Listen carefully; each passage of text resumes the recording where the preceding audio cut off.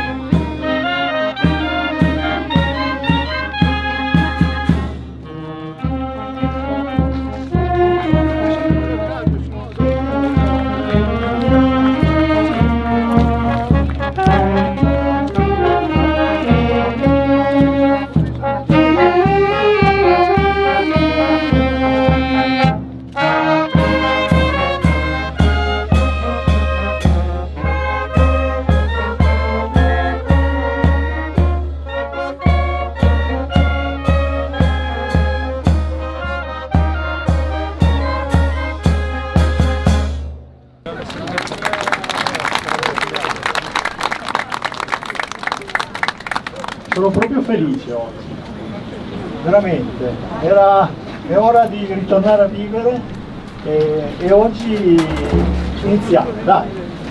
Allora, cercherò di non tediarvi e di non essere troppo lungo, inizierò con i ringraziamenti, ringraziamenti a voi che siete qui con me per fare questo taglio del nastro, per noi importantissimo.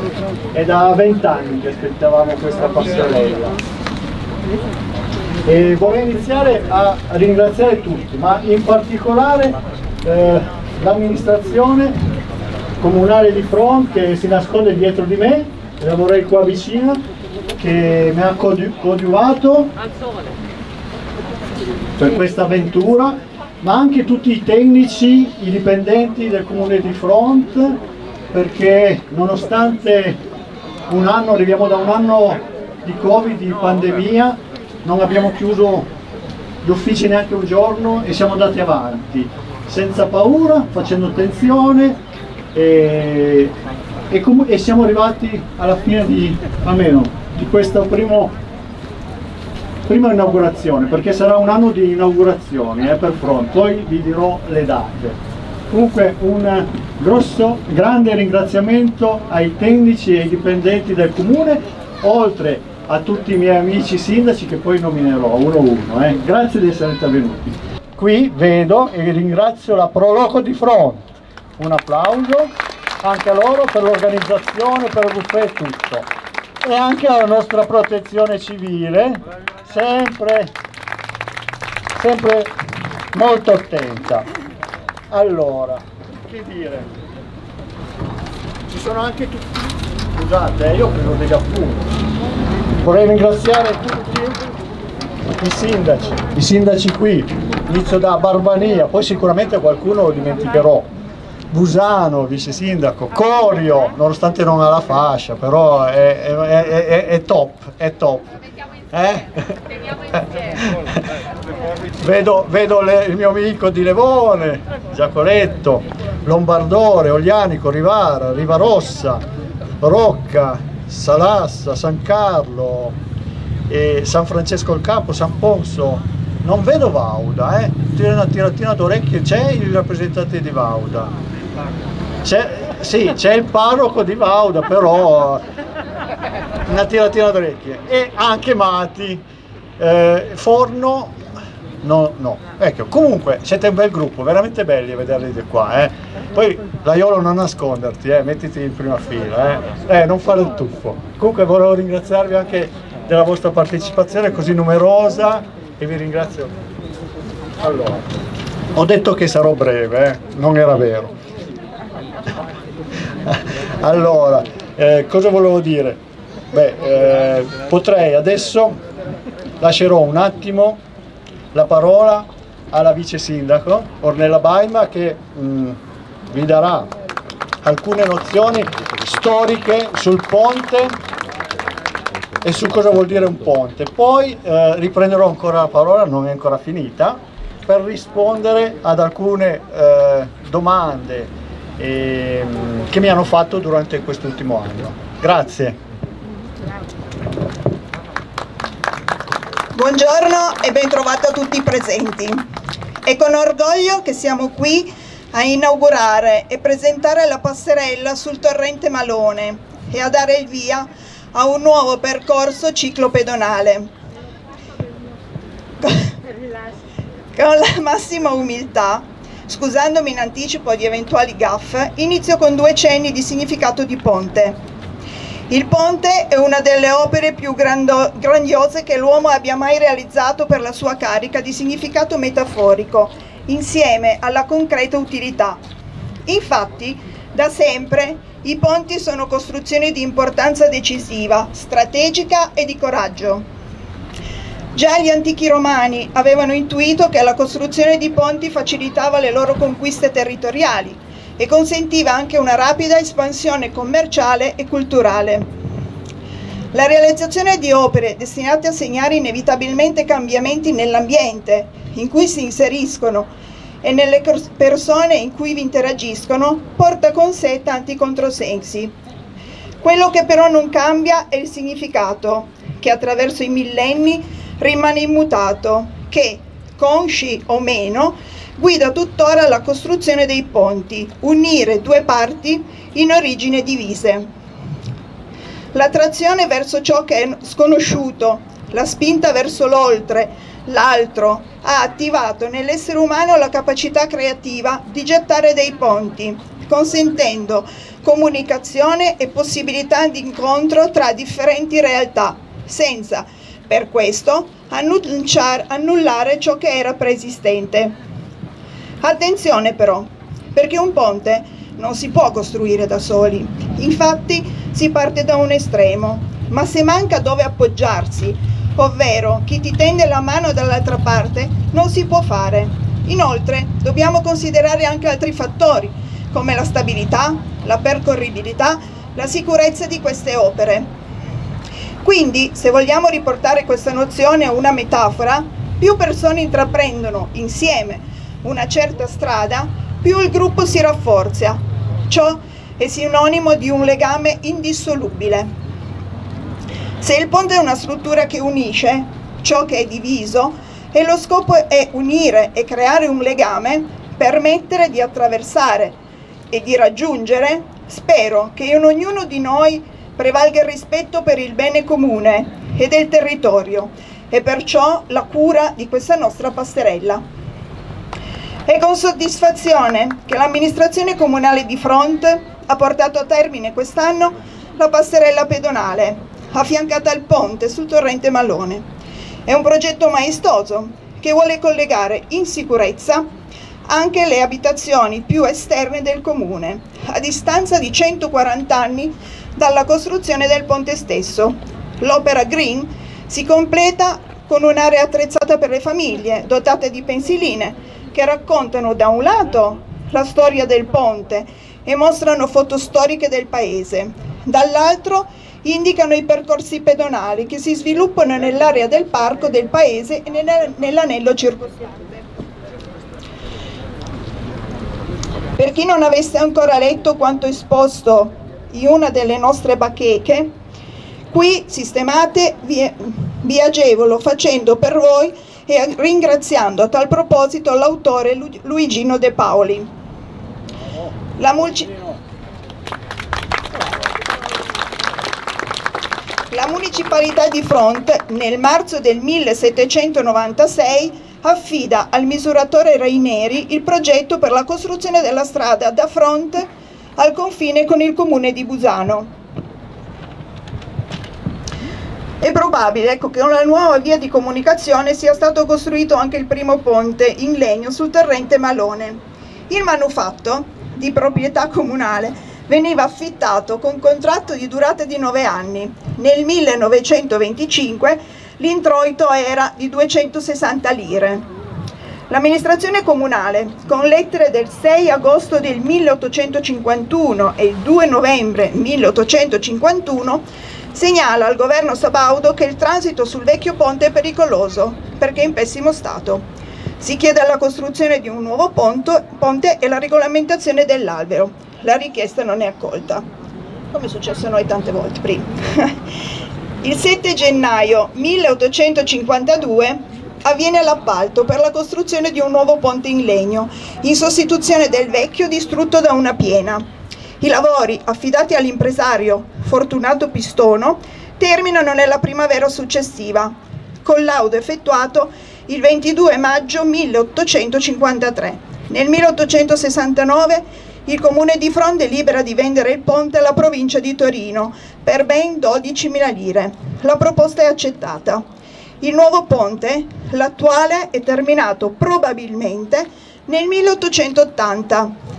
I pali di sostegno del vecchio manufatto erano ancora visibili nel 1960.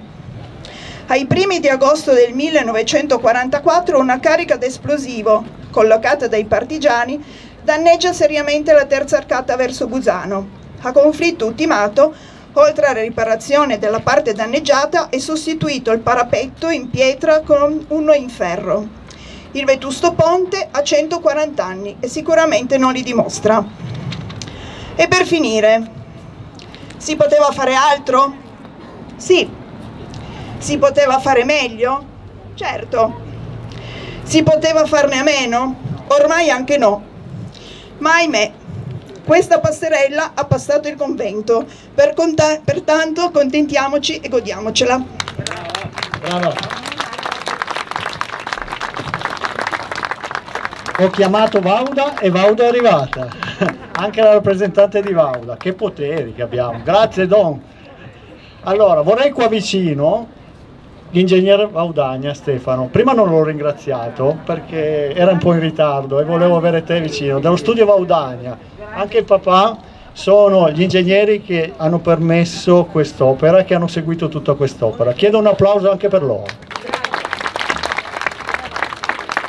Allora, adesso dopo la parte istituzionale che è chiaro che io non potevo fare, vorrei rispondere a tanti quesiti, tante domande, a tante interpellanze che sono nate eh, nell'ultimo anno. In questi ultimi sei mesi ho ricevuto decine di consigli e domande su quest'opera. Ci siamo trasformati tutti in ingegneri strutturali, eh? ormai voi siete superati. siete superati. Si sono costituiti comitati di studio sui social no? e, e, mi hanno fatto, ma ho voluto scrivermelo perché non posso elencarle, elencarle tutte le eccezioni che mi hanno riportato, ma alcune sono talmente carine e simpatiche che ne vorrei parlare. La prima, prima domanda, perché la passerella è a sinistra? Allora, vi voglio dire che non è un motivo politico, non è un motivo politico perché uscendo è a sinistra, entrando è a destra, quindi sia chiaro, non è, evidentemente non è un problema. È chiaro che si è fatto a sinistra uscendo perché era già presente un marciapiede, potevamo continuare anche in sicurezza dall'altra parte e poi perché le passerelle si fanno a monte per un problema di rigurgito durante le piene, che non è quello del bimbo, il rigurgito del bimbo, ma oggi non ve lo spiego. Allora, un altro, un altro, un altro perché, perché è stata fatta appesa e non ad arco come quella di San Benigno, no?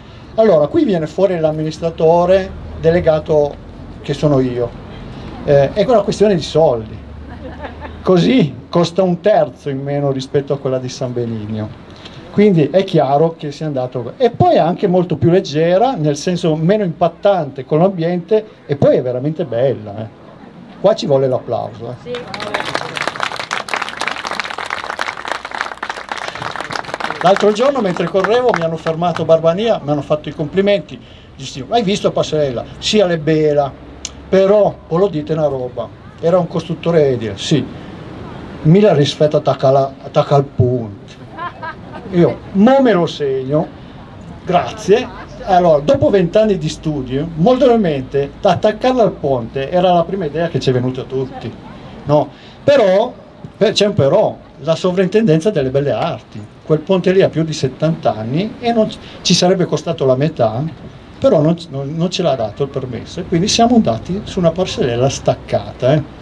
L'ultima, perché non mi voglio annoiare, però è veramente carinissima, ma vi siete accorti che ve l'hanno data già arrugginita? È bellissima questa, mi sono piegato. Allora, trattasi di acciaio Corten. Corten, Corten, che è un acciaio speciale che si autoprotegge creandosi una patina di ruggine sopra, ma poi questo ci permette di creare un contrasto col grigio del resto della struttura. Sarebbe stato veramente insignificante se l'avessimo fatto grigio. Allora, questa è la prima parte dei perché.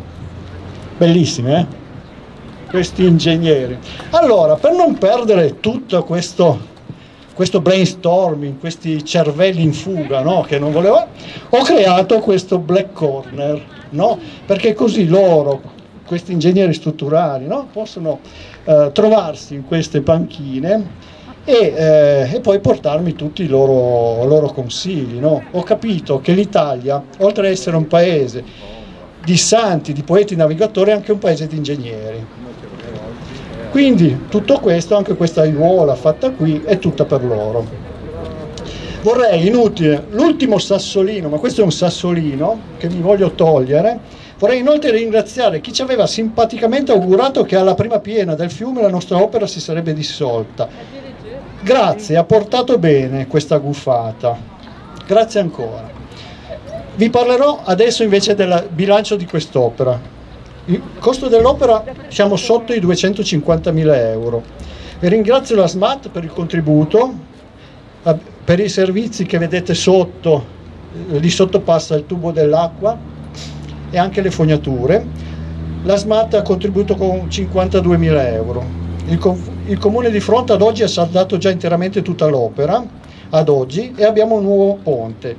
Mancano solo più, senza, scusate, cambiare i nostri equilibri di bilancio. L'anno scorso il nostro Paese ha chiuso con 407 mila euro di avanzo, quest'anno 423 mila e abbiamo una struttura nuova di 300 mila euro.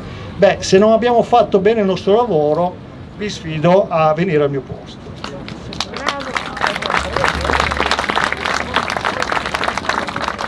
Oltre al sottoscritto dovete fare l'applauso a tutte queste persone che vedete o dietro di me oppure con la fascia, perché il giorno che queste persone non hanno più questa voglia di fare, vi troverete con dei comuni commissariati e magari viene una persona che non conosce il paese e non sa neanche quello che ha bisogno il vostro paese. Facciamoli un applauso anche a questi signori qua. Bene, siamo quasi ai saluti, non voglio annoiarvi. ma voglio darvi altri appuntamenti. A luglio faremo una nuova, una nuova inaugurazione. Inaugureremo il dopo di noi. La casa del custode è stata completamente ristrutturata grazie al professor Faletti, che però non vedo, che è il nostro presidente della fondazione De Stefanis, e grazie anche a un contributo della regione Piemonte di 100.000 euro. Faremo l'inaugurazione di quest'opera e anche della strada intitolata a Don Renato. E poi un altro safe date, come direbbe la Bonomo Francesca, che arriva, arriva da, da, da, volevo dire da un altro stato, ma dopo il po' è tutta un'altra roba. Vabbè, e, ok, il magazzino, il magazzino vi, vi do un altro appuntamento in via Falcone, numero 5, che è il comune, inaugureremo il nuovo magazzino polivalente, già progettato, deliberato e finanziato. Bando previsto per metà luglio, firma del contratto direi geometra settembre-ottobre, dove è Basiletti? E quindi anche questo già totalmente finanziato. A fine anno inizio dei lavori e tra un anno vi, vi inviterò di nuovo a questa. Quindi i rinnovi i ringraziamenti ho proprio terminato a tutte le parti, in particolare al geometra Basiletti, che vorrei un applauso, che si è fatto in quattro, allo studio Gaudania e alla società costruttrice, la Smart e la città metropolitana e a tutti i sindaci, i miei amici che sono qui con me. Eh, adesso la, noi ci sposteremo vicino a Passerella, il Don dirà, dirà una preghiera e darà la benedizione, mentre ci spostiamo la banda ne suona una.